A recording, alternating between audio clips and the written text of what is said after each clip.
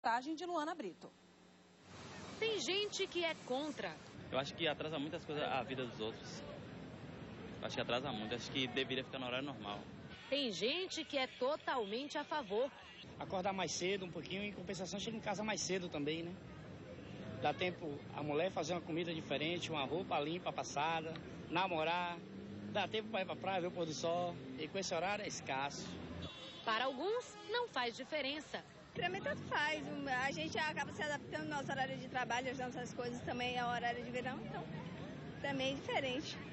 Pois é, já são sete anos sem o horário de verão no estado. E a polêmica é sempre a mesma. Argumentos contra e a favor do ajuste no relógio não faltam. Mas enquanto aqui na rua as opiniões se dividem, alguns setores da economia são unânimes. O fórum que reúne as 20 maiores entidades empresariais da Bahia, por exemplo, lançou até uma campanha. Eu quero uma hora a mais no meu dia, que também poderia se chamar traz o horário de verão de volta. Para o presidente do fórum, a explicação é matemática. Ele diz que entre os dias 20 de julho e 13 de novembro, o sol passa a nascer gradativamente mais cedo, chegando a uma hora de diferença. No meio do ano, aparece às 5h57 da manhã e no verão, às 4h57. Por isso, segundo ele, a claridade não muda e as vantagens de seguir o horário de Brasília compensam o esforço de se adaptar a qualquer mudança de hábito. 81% da economia brasileira vai para o novo horário de verão que Brasília proporá.